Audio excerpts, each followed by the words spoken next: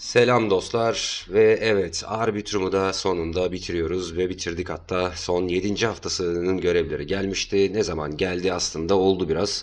Ayın 20'sinde bu son iki görev başlamıştı. Ee, kaçına kadar devam ediyor hemen videonun başında söyleyeyim. 25'ine kadar bugün ayın 23'ü 2 gününüz var bunları tamamlamak için. Ben de artık e, fiinin düşmesini bekleye bekleye harap oldum. Amk dedim ve şu an 37-38'lerde olmasına rağmen dedim ki şu arbitrum görevlerini yapalım bir aksilik olmasın.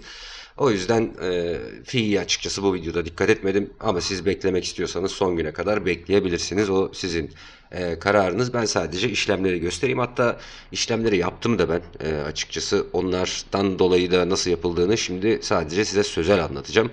E, ilk göreve gelelim o halde. Bir de ilk göreve gelmeden önce arbitrum nedir siz 7 haftadır ne yapıyorsunuz kardeş falan diyen vardır. Mutlaka e, ne yapıyorsunuz kanalda geliyorsunuz burada 6 işte şurada 5 4 falan ne yaptık bunları anlatıyoruz. Artık bu saatten sonra katılmanızın da gerçi çok anlamı kalmamıştır ama hani en azından bilgi edinmek isterseniz bu videolara da bakabilirsiniz.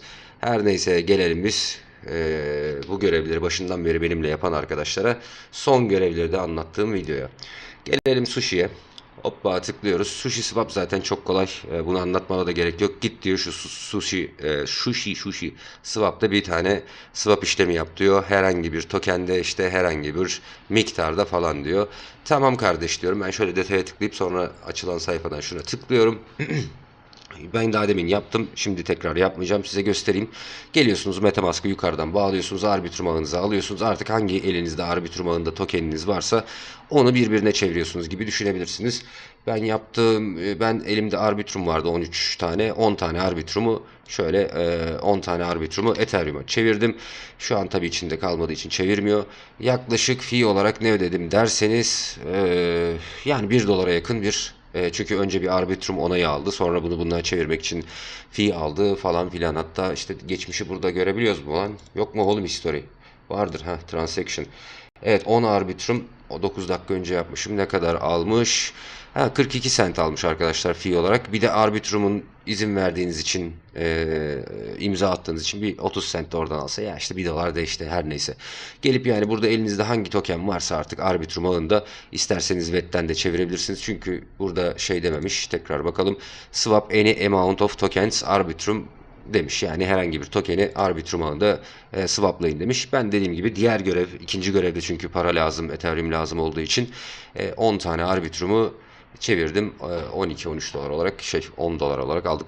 Arbitrum daha o kadar olmadı değil mi? Doğru. Şimdi e, ilk görev bu şekilde kolay zaten başındakini söylemiyorum bile artık Twitter'dan takip edin diyor. Görevi yaptım ben bu görevi. E, onaylamıyordu. Bakalım onayladı mı? Hala swap görevini yapmış olmama rağmen onaylamıyor. Bakın siz de e, şaşırmayın. Burada zaten update by proje tarafından işte onaylanacak diyor. Ama ikinci görev onaylandı. Onu da anlatacağım. Ee, ilk görevimiz buydu arkadaşlar. Şimdi geçiyorum ilk görevi anlattık. Gelelim ikinci görev. Biraz insanların kafasını karıştıran galiba bu. İkinci görevi açıyorum. Gördüğünüz gibi benim onaylandı ikisi de zaten. Evet, zaten birincisi Twitter'ı takip et. İkincisi e, şurayı açın ve dikkatli okuyun. Diyor ki e, bu siteye git kardeş diyor. E, FX tokenlerden biriyle diyor long ya da short pozisyon aç diyor. Ethereum ya da e, Bitcoin'de açacağın bir pozisyon diyor sayılmayacak diyor. Boşuna uğraşma diyor ve en az 7,5 e, dolarlık bir pozisyon açman gerekiyor diyor. Yani 7,5 dolar vererek açman gerekiyor diyor. Bunları e, yanlış yaptıysanız onaylanmıyordur. Ben daha 5-6 dakika önce yaptım. Tık diye onaylandı. Aklınızda olsun. E, şimdi hemen o siteyi de açayım yaptığım yerde. Site burası arkadaşlar. Handle fee diye. Tıkladığınızda siz de buradan yukarıdan cüzdanınızı bağlıyorsunuz. E, çok saçma ve aptal bir e, şey var açıkçası hani burayı Hani şey de olsa yani gerçekte param da olsa kullanmam. E, beynimi yaktı, gözümü yaktı. Bu kadar e, ne bileyim fontlar falan leş olmuş. Her neyse geçelim ya. Siktir edin onları şimdi. Biz kendi durumumuza bakalım. Bakın benim açtığım pozisyon burada arkadaşlar. Hala duruyor kapatmadım onaylanana kadar diye. Ama zaten 3 dakikada onaylandı. E, ne yaptım arkadaşlar? Demiş zaten e, FX tokenlerinden birini kullan. Zaten bu FX dediği işte Avusturya doları, işte Euro, işte İngiliz sterlini, Kanada doları falan filan. Şu FX'lerden birini tercih edebilirsiniz. Yukarıda ben Euro'yu tercih ettim. Euro e, dolar arasında bir pariteyi tercih ettim. Aşağıya da şuraya 0 nokta arkadaşlar 0.0 lan niye koyamıyorum? 0,005 Ethereum. Yani bu da yaklaşık 10 1 dolar, 10,5 dolar falan ediyor. Buraya bunu yazdım. Şuradaki kolektral e, şey leverage yani işte long short pozisyonu açarken kullandığımız e, leverage'ı da 1.1 yaptım. Bu şekilde e, aç dedim kardeş dedim. Yukarıda da dediğim gibi bunu kullanarak şu pariteyi gördüğünüz gibi şurada zaten açık hali burada. Geldi açıldı. Şu an hatta ufak bir zararda falan filan kapatıyorum hatta. Close diyelim. E, maksimum kapatalım kardeş. Hepsini kapat. E, bu neymiş? Leverage, check the box, maintain existing leverage falan filan. Geç. Close. Ee, heh, bunu açarken kaç e, dolar esimiz gitti arkadaşlar? 1 dolarımı falan aldı burada pozisyon açmak için haberiniz olsun. Şimdi kapatırken de 89 sent alıyor. Yani 2 dolar falan alacak büyük ihtimalle. Şunu bir e, en düşük yapalım. Onayla diyelim. Yani totalde bu siteye 2 dolar bırakıyorsunuz. Öbür siteye 1 dolar bırakıyorsunuz. 3 dolar falan gidiyor bu görevlerin hepsini yapmak için de. Gördüğünüz gibi pozisyonda kapandı. Ee, şu an hatta ee, nasıl durum bakalım ne gelmiş elimize ona da bir bakayım hemen. Videoyu çok uzatmak istemiyorum. Ee, benim elime bunu e, şey olarak ne verdi lan bu? Biz bunu pa- kapattık da şuradan dashboard'dan bakalım. Elime ne olarak vermiş? Evet benim elime bunu euro olarak vermiş arkadaşlar. Ee, buradan da e, ben normalde Ethereum olarak açtım. Yani parayı Ethereum olarak yatırdım. Ee, kapattığımda pozisyonu euro açtığım için euro vermiş.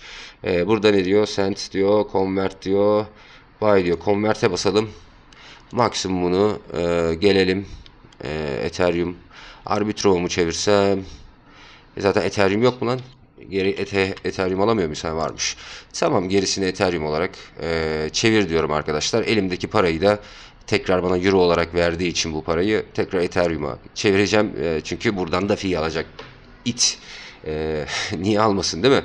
Hem de bir de önce ona isteyeceksin. Oradan da bir e, ulan var ya siz yemin ediyorum. Arbitrum yapmazdın sen böyle şeyler ama enteresansın vallahi bu görevler. Bakın önce ona için bir o 30 sent falan alacaksın. Alamazsın 30 sent düşür.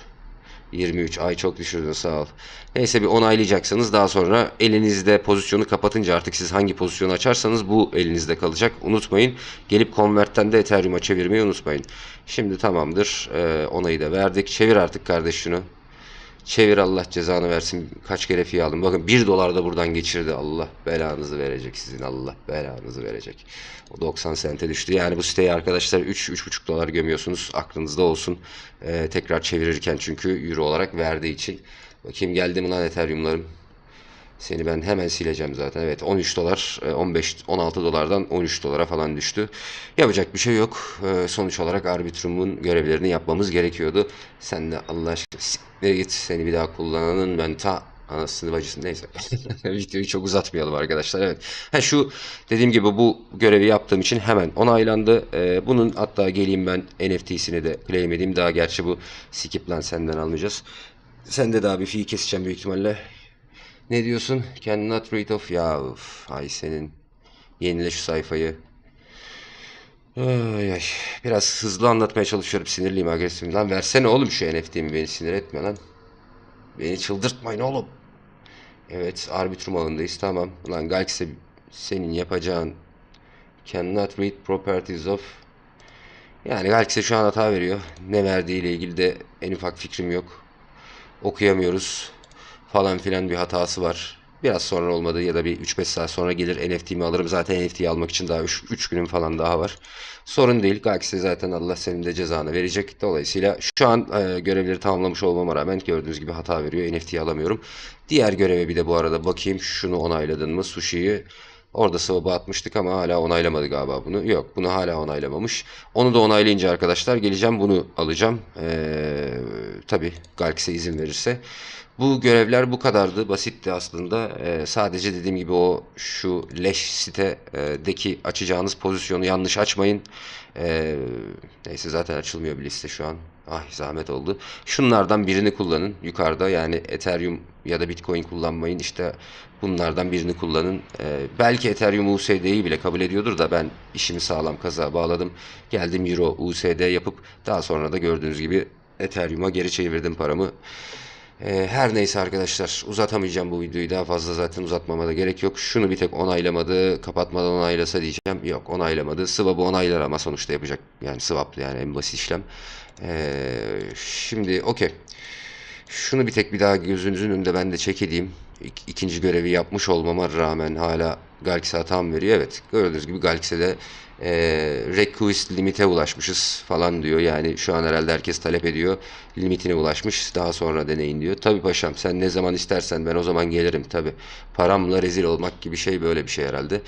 Arbitrum yani seni severim bilirsin ama şu son 2-3 görevin dünyanın en, leş görevleriydi. Ee, totalde bir 10 dolar, 15 yok bir 20'ye yakın dolar harcamışızdır herhalde 7 haftada arkadaşlar.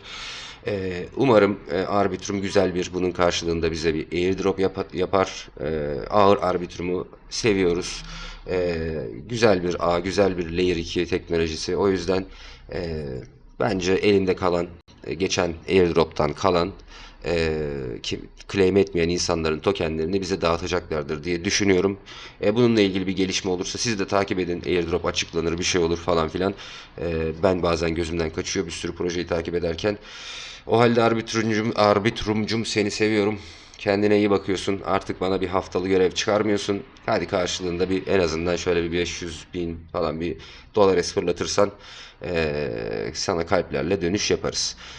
E, Bu videoluk bu kadar arkadaşlar. Diğer görevler de var biliyorum. Ee, ama gördüğünüz gibi Ethereum fee'si yüksek olduğu için Arbitrum ağında bile bir işlem yaparken neredeyse 1 dolar alıyor. Şu an bunu bile yüklemiyorsun. Ethereum kaç GW'yi ben görüyorum da 38-40'lar arasında.